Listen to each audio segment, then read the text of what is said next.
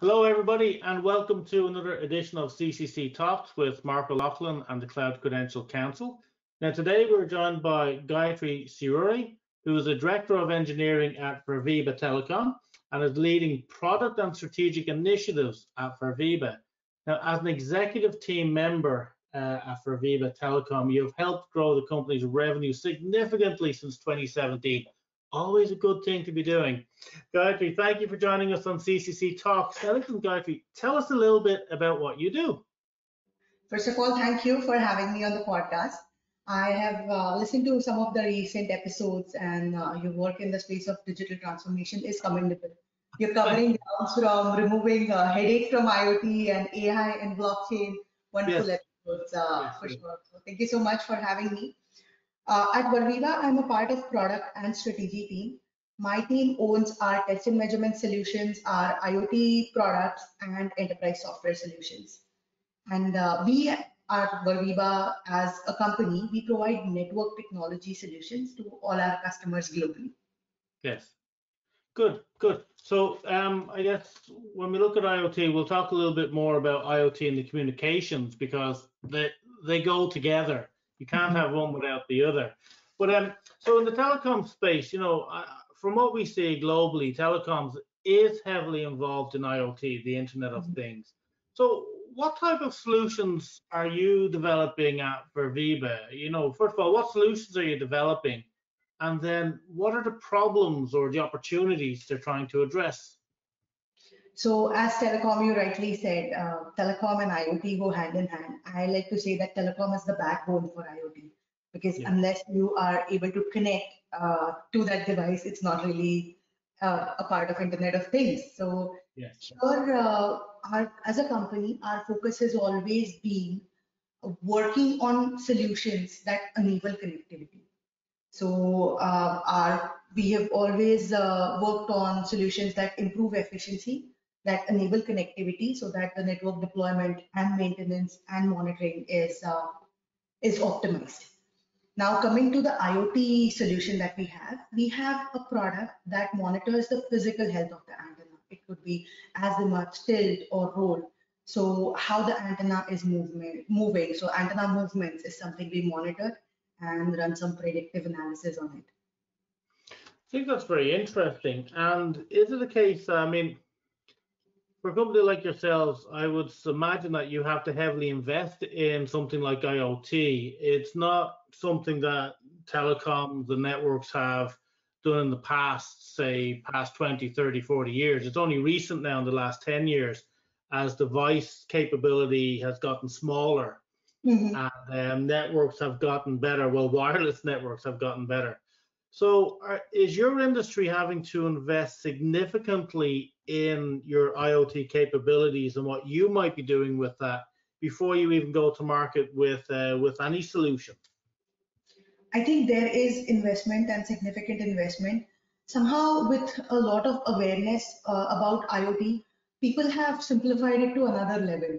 Like yeah. you just buy something off Amazon and automate your garage door, and so it seems very easy. But there's a lot of research and development goes into building systems that are highly accurate and more reliable. So yes, yeah. there is a heavy investment upfront.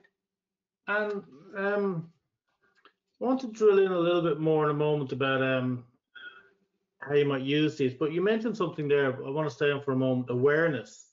Mm-hmm. Um, are customers going to companies like Verviba and saying, "We want to do something in IoT. Help us. What solutions do you have?"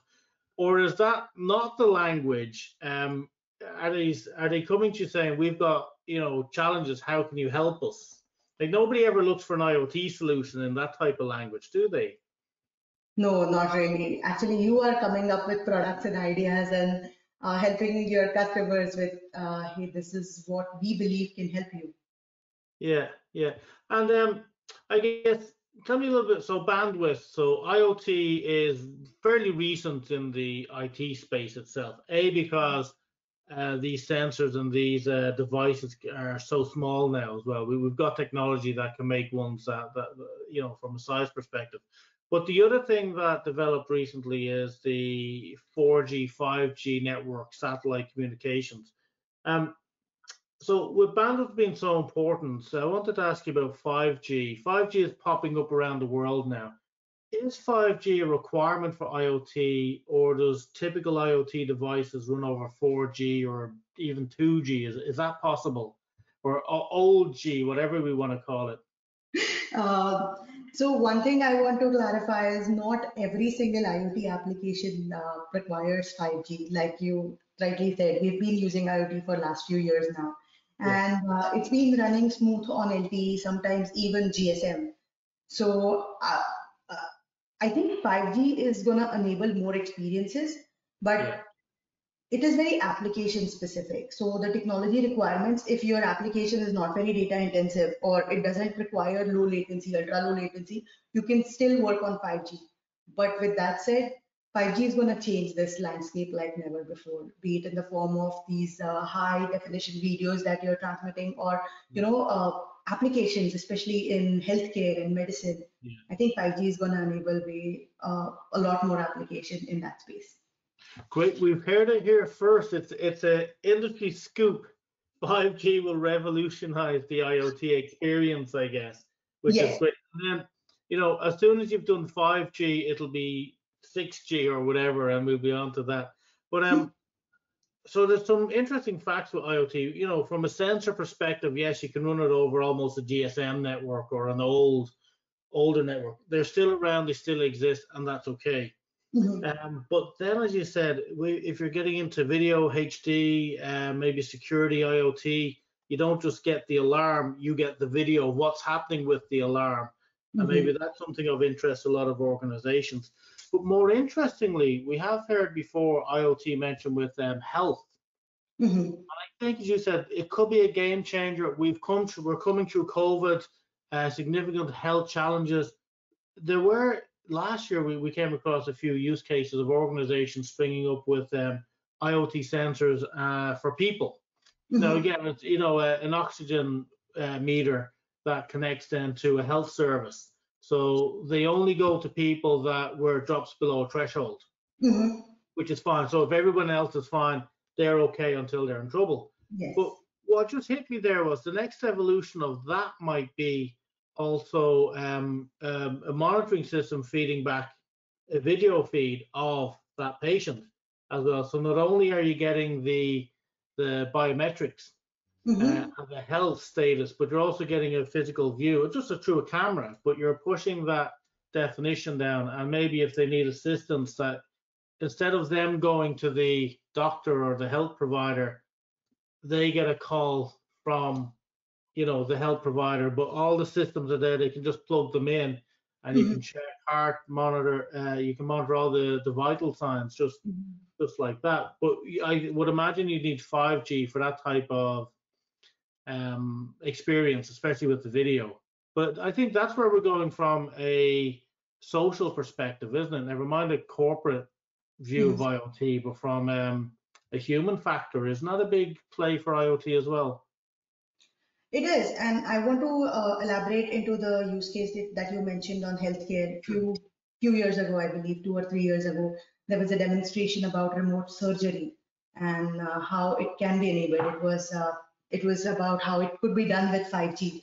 And I think uh, that could be another game changer. Although uh, there, there, it'll take time to build confidence uh, with masses with that kind of technology, but I believe that would be one thing that 5G can enable. But it is still a long way to go, I believe. It is, but I think that's that's where we're probably going. So from um, I guess the human factor, that's a great way to go. From a corporate space, the world, mm-hmm. you know, whatever you want, we can develop, which is really good. Um, I had seen some of that, and there is that confidence thing. While I'm a big, you know, promoter of IoT, would I want to be under the surgeon that's somewhere else using all these sensors? I, I'm not sure, but sometimes, you know, that's what that that's where it's going to go. Now, as I said, um, most organizations don't pick up the phone and, you know, guys, we want some IoT solution. Help us, please, you know? Um, so I would imagine that, you know, organizations like Verviba and telecoms, you're helping customers, whether they're new or whether they're prospects or whatever. I think you're help. I, I just do help them understand how they might use IoT? Uh, do you invest time to understand their problems and then develop solutions, or to say, hey, we've got things here that if we did this, would go there, you know, would, would achieve things. So are, are you finding that that's a big uh, time commitment or investment that Verviba are putting in?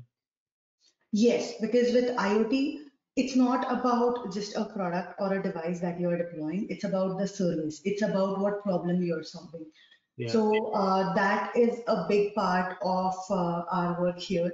That if you deploy this certain device, what is it going to enable? So you are always trying to do two things, right? Either you're trying to enable something new, add new value to the program, or yeah. you are bringing in some kind of cost or time efficiency. So when we are presenting or pitching any kind of IoT solution, I think both or one of them has to make sense to the customer to buy into it basically. So it's very important uh, to to understand what it's not just the product, it's about what application it has and what are you trying to solve here. Yes. So a good approach for uh, you know uh, an organization thinking about IoT Mm-hmm. Based on what I'm hearing there, am I hearing correct that a good approach is if they go to an organization, if that organization starts talking about IoT and devices, they're probably gone to the wrong organization. That that IoT group should forget about the words IoT and all this stuff and talk about what's your problem, mm-hmm. how do we deal with it, let's listen to you, mm-hmm. and then let's see what we have that might fix things. So is that the way it is or to get the customer to stop talking and looking for IoT, but looking to providers to say, help us, here's a problem, we can help you understand it, you help us how you can fix it with your solutions. Is that the right approach to go? Always, like start with a problem statement. It's it's always said, right? Start with the end in mind. So start yeah. with a problem statement that you're trying to solve because when you're trying to deploy IoT, it's not only the device, it's the data that you collect. It's all the intelligence that you bring to the table from all this data you're gathering from devices and also adding more intelligence with adding external data sets. Yeah. So I think it's it is all about solving that problem, not just about the device. So I think, yeah, sage advice for our listeners if they're interested in IoT is probably maybe understand what IoT is in a general sense, but when you're going looking for, you know, help to see is it an option, probably don't start with IoT as a solution. Start with the problem mm-hmm. and then see what the answers are. And some of them might be IoT, some of them might not, but generally, I think the way the market's going, there will always be something now that can. So we have Alexa in our houses now. We have all these smart assistants, smart plugs, and all sorts of things, I'm not convinced we overly need, but mm-hmm. we have them and we use them and deliver some value to people that get value out of those. So once we're now in that consumer sense, I think there's got to be solutions for customers and business. Absolutely. Um, said before, I think the farming industry is is an amazing test bed for all of this stuff, for everything it can do. Mm-hmm. Um, know, monitor. We, we may we may look at that in a moment. But um, just in general terms now, without giving away trade secrets, because we're, we're not looking for that. But in general terms, how did you help grow the Verviba business with IoT and connectivity devices? Was it always having understanding the market and creating for that? Was it innovation and making mistakes? Was it just being right, or was it luck, or a combination? So you always want to always be right, but that doesn't happen, like we all know. So uh, we, Verviba Telecom was formed at the peak of LTE deployments in 2010. Yeah. So I think to all our offerings, like I said before, are about enabling connectivity. We build, our services range from you know build, operate, optimize, and monitoring and uh, maintaining the networks. So two drivers. First one, uh, technology itself, because in last decade, as we've seen, there has been uh, tremendous change and change in how we as users use uh, wireless networks and a lot of change on the technology from the operator side. So that is a huge driver, LTE deployments, 5G deployments. And second one is our approach. Uh, it's always been improving efficiency and we have some innovative ways to do that. I think so these are the two key drivers, I would say.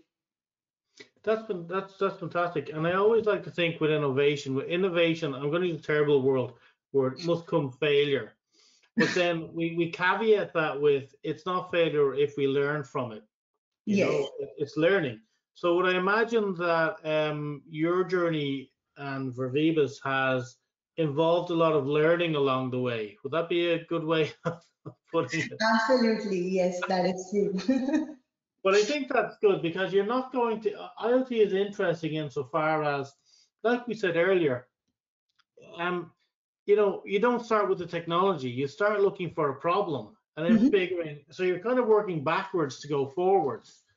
And not every problem is going to be solved by something that we're talking about. Um, some will and some won't, and that's where the innovation is. And that's where I think if you find that the path we're going down isn't the right path, we stop and do something else. That to me is called learning as well, and that's okay, I think, isn't it?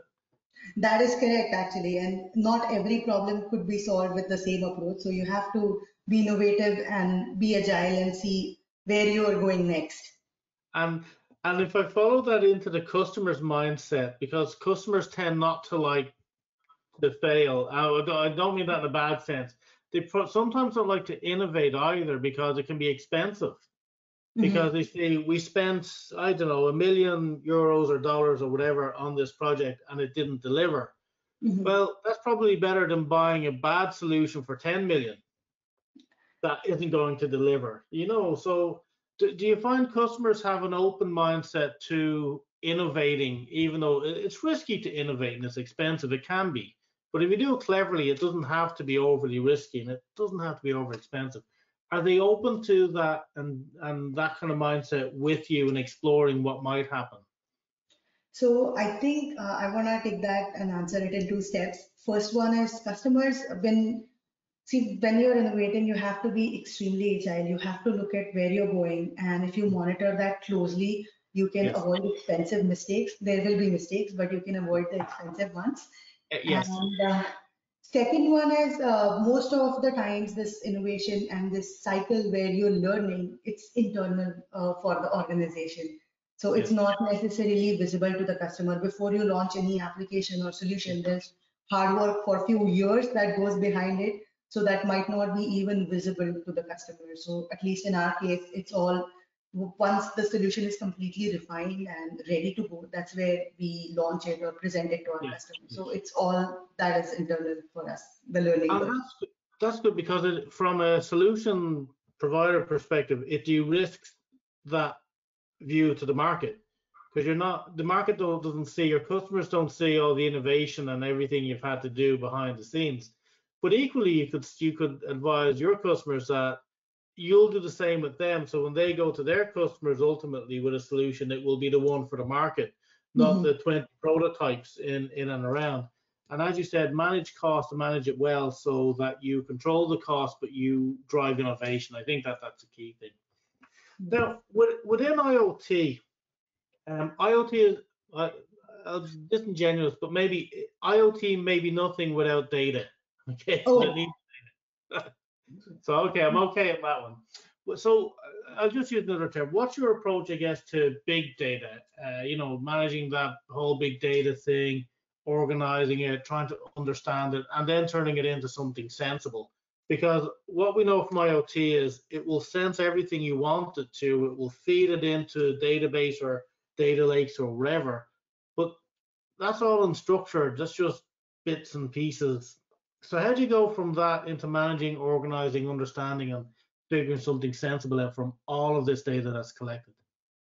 So I'm really glad that you asked for this question because uh, one thing that we all tend to like is, and especially with the engineering mindset, we want when we start with any prototype, we want this humongous Yeah. data coming in, which is piling up, and it's kind of exciting. But when you're working on applications uh, with such large number of devices, then one has to be very mindful about the data. So there, there's two ends of the spectrum. First one is you're pre- you're uh, getting only critical data, which is very important. Otherwise, and the second end of uh, the spectrum is you're collecting data every second, every minute. So it is very important that some you find a golden zone based on your application and use case and correct the right amount of data because otherwise you're just collecting a lot of data and that is may, that may not add value necessarily Yeah, yeah. your application So I think that is something that one has to experiment and optimize. There's no right answer. You can start from either end, but there's the this golden zone that you have to come to and collect collect that right amount of data. So yeah, there's an element of collecting it, making sense of it, learning, as you said, uh, getting something of value from it. Um, do organizations, I guess, understand um, that that's another part of IoT, the, the data part that, you know, they get these lovely sensors, they're doing something with it, but then there's either investment or there's a setup or the understanding of collating the data and then reporting that into this changes somebody's life somehow or somebody's business somehow. Do they understand that or do you have to, is that part of an education piece that you help customers with? All these other bits, I think, because I think IoT doesn't exist on its own Mm-hmm. Need all these other technologies, big data being one of them, cloud, and lots of other different things for it to even networks mm-hmm. to work. So I think from our side, I'll just give you an example how we uh, made sense of data. We started with you know basic analytics like uh, reporting, drill downs, and you know ad hoc reports, and yeah. then you add this analytical maturity into your system then you start doing more forecasting then you start doing predictive modeling optimization. So i think that's how we traveled on this analytical maturity uh, cycle that's starting with basic reporting drill downs. And then when you add external data sets uh, you have you can basically bring more value into it. Great. so that's how we uh, approached it. And to me this brings whatever the customer is doing to their customers up the value chain because you know, and I think for some customers it takes them a while to change their mindset as to with IoT, you know, we may not necessarily be out anymore collecting the data and you know have humans looking and doing this stuff.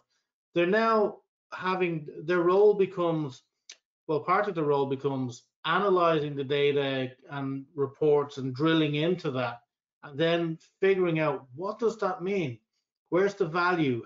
How mm-hmm. are we doing different? How does it make us differentiate? How does it make our customers differentiate in the market or do something different or do something their competitors aren't? And mm-hmm. it's not a value add for them. It's not going up that value chain, I guess, in the organization. That um, IoT helps them deliver a more valuable service, so it becomes more important. For sure. Yeah, I think um, I think that's often missed in the conversation with IoT that sometimes again it goes back to the technology it goes back to the devices and the sensors and everything like that and they're missing the biggest part of it which is go look at the data go get some you know the data scientists and go figure out how you get structure from unstructure mm-hmm. and find that value because you have the information but it can be information overload for others the analysis paralysis mm-hmm. i guess can kick in sometimes now um as I said, people get excited about IoT. Some people get too excited about the technology. Some people don't know what it can do. But there's something interesting in the name of Verviba.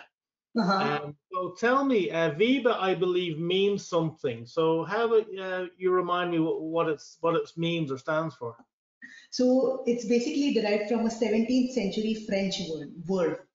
So it's energy, vitality, or spirit of enthusiasm. And I think it perfectly describes us as a team and how we operate here spirit of enthusiasm. I think that's fantastic. And but I think that's a perfect name for doing something like IoT and connectivity solutions and, and everything like that. Because if you weren't enthused about it, you would not be finding solutions to problems that we don't know we have at the moment. So I think that's great. Um, I wanted to flip, as I said earlier on, IoT doesn't exist on its mm-hmm. own in isolation. You need IoT, you need networks, you need big data, you need storage you need cloud services these days because of the intensity of it. Um, mm-hmm. From your perspective, and again, and as much as you can tell without giving away the trade secrets, um, do you rely on, say, public cloud providers? A few of the common ones, Microsoft, Amazon, Google, maybe vendor like an IBM or something. Do you rely on them for back-end services or not at all, that you look after that yourself in maybe a more traditional way or in a private cloud perspective? Uh, we do rely and we do use one of these uh, service providers. I think they have created excellent offerings in terms of device management or, or even some pieces for uh, analysis. And they have very good uh, compute engines stored definitely. So we do leverage that. Uh, sometimes I feel doing the, especially the device management piece, which needs to be very robust, could be like reinventing the wheel if you want to do it from scratch again. So we do leverage uh, the existing infrastructure and technology available. And and that's the pro and the con, the benefit and the disadvantage of using, say, a public cloud provider. You get what they provide, and Mm-hmm. sometimes they change, sometimes they don't. But that's okay. But um, um, I think it, the important thing there is for likes of an IoT solution provider, you don't need to build that back end. That's a that's a promise of cloud and you're just leveraging what's already there and building your apps and your capability on top of that. So A, it cuts down your cost, your capex, all, all the good things about cloud, and it gives you solutions that you use that uh, Mhm. probably come in at better cost points than if you try to do it yourself. So like that, IoT doesn't exist on its own and in its own and of its own Mhm. and um, a lot of say intermediary providers using these clouds they're, they're they're good out there if i look at the um, services you provide then so from a customer perspective they're looking at service they're looking at trying to generate value you're providing a service trying to deliver value how do customers measure a quality of service from say an iot solution um, Mhm. What KPI? So what's the quality of service that they? Because I think IoT requires, let's say, one thing it requires is uh, network connectivity. So there's a quality of service in the network. That's your that's a core bread and butter for you. But also there's a quality of service and what it does and how it does. So maybe look at quality of service first, and then I'll drill into KPIs in a moment. So uh, how should how how how should that be measured, or is any any I guess considerations for that? Uh, so it is again with IoT, everything I believe is very use case specific. So for example, if you have a device which is going to be always on, which needs to be extremely reliable, then reliability is something that you have to have. Then if you are working on some high accuracy devices, then you would want to have higher accuracy for the data that you're collecting or the higher uh, sensitivity of any sensors that you're using. So I think it is very much use case specific and reliability uh, life in not only battery life, but the device life itself and what kind of accuracy you are bringing into the data. I believe those Mm. three uh, are some of the KPIs that we could look at. I guess the key thing there, reliability. That's that's actually quite interesting because I'm sure you've got reliability of the device itself, Mhm. uh, the reliability of the sensors in the device, perhaps because if you have bad chips and they Mhm. fail, the device Yeah. fails. Um, reliability of connectivity Mhm. as well. Whether and now, as you said, e- even even in you know a single country, you may have pockets of 5G, then it Mhm. goes into 4G, then Mhm. sometimes you're back into GSM. So you even though you can say we can have 5G availability, you probably don't want to offer that in places where there isn't 5G. So the customer needs to understand this that there can be drop downs in connectivity, but will that or won't that affect the service maybe? You know maybe i think it's important for the customer to understand that that like what we said earlier on if you've got a sensor that can work on a gsm network but you want to push uh, hd video through that 5g will do it. But if that device is on i don't know um, farming equipment that travels into a 4g or 3g network Mhm. we drop off the video so you don't get quality. We can't guarantee that. So it's as important for you to make sure that you cover that in your contracts and explain that to the customer, isn't it? Yes, it's more of education uh, because, you know, like we were discussing about application, right? There's always the bright side of uh, everything that can happen and some piece of, you know, what may not be possible. I think it's a part of educating uh, not only your customers, but also your users. That I think that's a big part, yeah. And for customers to go and look for organizations that are willing to help and educate them Mhm. rather than just sell them equipment and devices and things. It's not a differentiator in an IoT provider that somebody willing to educate them as much as anything else. Good. Yes. Yeah. I'm going to ask um, serious question because it's on everybody's topic. Security, privacy. Um, Oh. we, we've seen breaks, hacks, everything the last couple of years and, and beyond. Um, now, I'm not saying IoT is less secure. That's not necessarily the case.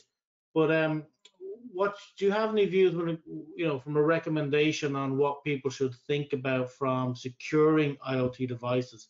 Are there any one or two basic recommendations to, to protect themselves from security, significant security problems? So one thing is security doesn't come at the end when you are ready to deploy. I think security can, you have to think about it when you start building the Yes. product. Because most of the times when people think about security, they're talking about data in transit, but that is not enough. You have to secure your data at rest. You also have to make sure you have enough isolation in your hardware. Then uh, your, you have to have secure boot if you're remotely booting your devices. So I think security should start with the design phase and not only in the later stages where you're just trying to encrypt your data. I think that's important and uh, I'm sure there's a lot of uh, experts in this field who will guide uh, how to get started from the beginning in security. And I think seeking help is important when you're, uh, especially if you are, if you have sensitive data or you are building devices for some critical uh, applications. So I think ha- So seeking help early on will help. Absolutely true. If you've got sensitive data or critical data. And the Mhm. other thing I always throw in, if you're a business, it, it may not be, let's say, sensitive data, but it's sensitive to you if your competitors get it.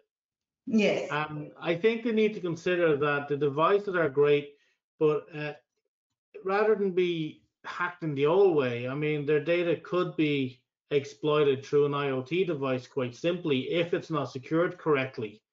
And in fairness to companies like yourself, you know, an organization may say, look, we're not willing to pay what we really need to do to secure this. Um, and they may cut corners themselves on there because you can only secure so much. But isn't there a reliance on the customer's end to do security themselves as well? So uh, especially for the applications that we have, there's not no end user interacting with the product. So security mostly falls under the person who's deploying that application in such cases. So Right. in these cases, it's not because there's no user interaction as such. Yes. Okay. That's interesting. Again, it's I think you've got to look at all aspects of security. I think you need to draw a map. The end point, the start point, and everything in is is is exposure. Mhm. Um, and then the other thing I think um, I've seen again, I'm not saying you know in, in the industry some some consumer products have come out to market that uh, to make them well to make them more profitable. Let's say less secure chips have been used over the years. So there's that one to watch out for as well, the level and the type, and to work with a partner to make sure that the product is designed and spec to a security standard. Now, at the end of the day, if they want to make uh, changes to say your recommendation, isn't that a risk back on the business then that they must accept themselves because they're the ones changing the security specification from the experts? True. Good, good. So it's one to watch out for. The other thing, though, uh, maybe quick one is privacy. So privacy of data. We've collected all this data. Um, there could be sensors on people or in houses or in whatever that is. So w- chances are some of these devices may collect, um, you know, that, that's the purpose of it, information on people. Um, but from a privacy perspective, does that get a bit tricky? In Europe, there's GDPR, but Mhm. in the States, there's a, different rule, different regulation. When data crosses over the Atlantic, you know, we're now in this uh, strange scenario where um, they're trying to fix it. uh, But if they do fix it, it means data can't transfer over. Is Mhm. privacy uh, and maintaining that a challenge, or um, again, are, you as part of your role is to educate your customers on how to deal with privacy uh, challenges? So in this, uh, most of the times we don't deal with uh, consumer information, so privacy is not a concern. But for privacy, I think anyone who's designing uh, any application around that, getting the data that is required, not just because it's don't like it's not. It may not be wise to collect everything that's available. I think whatever Yeah. you need, is uh, what one should collect so that there are lesser privacy concerns. Uh, that Yeah. might help. I love that. Don't collect everything because you don't need it. Because this The is- other thing is, it creates a bigger security privacy headache for you. Just collect what you need and Yes. then dial it up later on. Um, the big talk over the I don't know last ten years, agile. Everything's gone agile. Everybody's gone agile. Every business wants to be agile, uh, and even in the project management space. So I'm sure you do a lot of product development. There's Mhm. probably project management in there, probably waterfall, agile. You know, but are you seeing agile as being the main approach for modern product development as opposed to the old traditional waterfall method? Uh, for us, it has been, and in my humble opinion, I think uh, Agile is better for some of uh, the product development we do. Both Yeah. Waterfall and Agile have uh, pros and cons, but with Agile, when right now your requirements are always changing. There are Yeah. new inputs you receive from the customers. Sometimes you're learning from data, and that is what is adding to the requirements. So being quick, being quick to implement those has always been helpful for us. So for, in my opinion, it's uh, agile uh, for our kind of products. Absolutely, yeah. But can I ask, uh, very secretly, do you still use any waterfall um, project management type methods today in, in any projects, or is it pretty much agile? It's pretty much agile. We are not uh, much into waterfall. I, I guess waterfall is going to be kept for building bridges, so It's very good because we need so- solid and strong bridges. we don't want them to change directions. yeah, you don't want to change the requirements of building a bridge halfway through. No, we want it over there now. But, you know, but I think that's important. It's an important point to make that. Um, you know, I think whether it's waterfall or agile, it depends what suits the environment. So you're in a very learning environment where you have to learn, you're getting input from customers, you're changing, you're Mhm. trying to problem solve as Mhm. well as develop. So agile does suit that very well, I think, uh, which, which is good. Um, you know, can you recommend to organizations, say starting out, one or two things they should consider how to get started? You know, Mhm. do they just knock on the door and say, "Hey, we want to buy some IoT, let's do it," or is there another better way to to get started?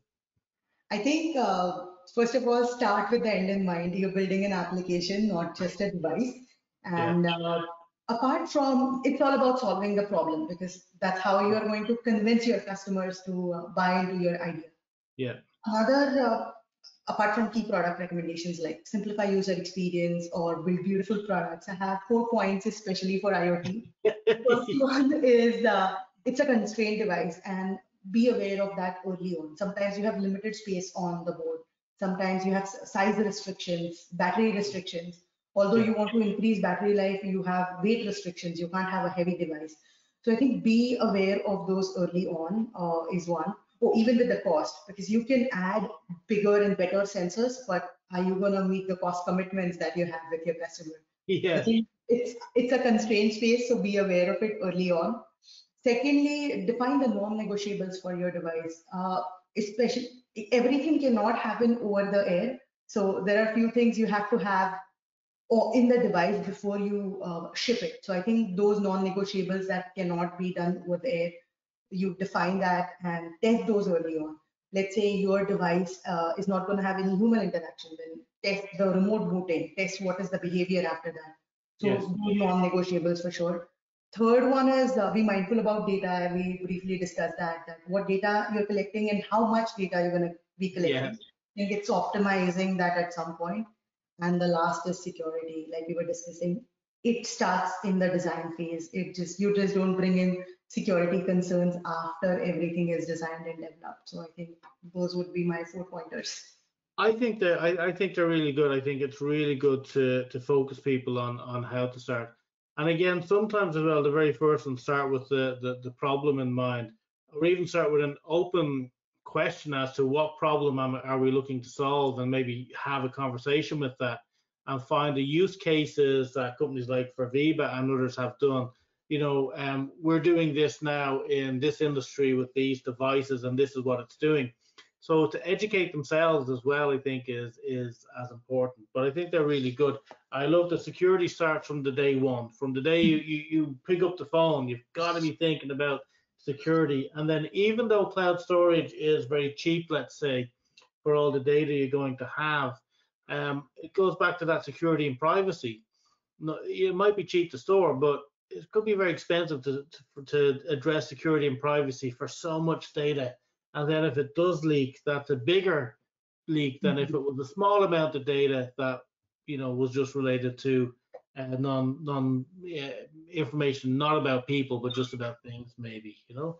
Um Gayatri, fantastic. I have a final question.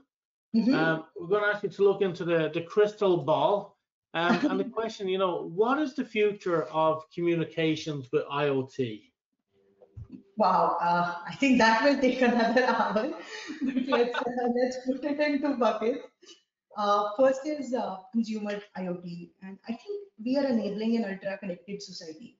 It's changing how we care for our loved ones, our kids, our parents. Yes. Especially, um, I have personally used uh, with my family the remote monitoring for blood sugar or app-based blood sugar monitoring for managing diabetes. So I think these small these applications are really important, and they they're changing how we care for each other. Then we all these variables, and it's it's very important to realize how much uh, IoT is enabling now, and it, there's a there's this huge paradigm shift. So definitely, as a society, it's uh, changing a lot. And I'm personally, yeah, go ahead. You're saying something. Oh no, I was going to say sorry. Um, uh, I, I think that's a fantastic final answer to the question, insofar as you know you focus on the human side, the humanity side of a technology, Mhm. um, not the corporate side, not the business side, but just the humanity side. Which now there'll be great, you know, uh, there's great uses in corporate and business and commercial and all that kind of stuff. But equally, there's the impact to society, which can only benefit uh, Mhm. from this type of technology. And I think that's that's um, that, that to me that, that that was a really really insightful into your mind as to, to where this is going from the human factor. And of course, you and Verviba, I'm sure will be there on that journey, whether it's a commercial solution or a sociological solution, you know, that human uh, solution at the end of the day. I'm all for the human solutions because they're, they're going to help me at some point. So uh, I'll, I'll buy some of those in the future, I think. Absolutely. So, um, Gayatri, we're going to finish up. Um, listen, like, thank you so much for um, coming on today, telling us a little bit what you do, what Reviva is doing, um, giving us some insights and some really good recommendations on uh, uh, everything IoT. So it remains for me just to say, Gayatri Sirure, thank you so much for joining us on CCC Talks today. Thank you so much for having me, Mark. It was wonderful talking to you. Thank you. Thank you.